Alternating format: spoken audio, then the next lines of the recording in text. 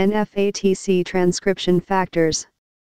A family of transcription factors characterized by the presence of highly conserved calcineurin and DNA binding domains.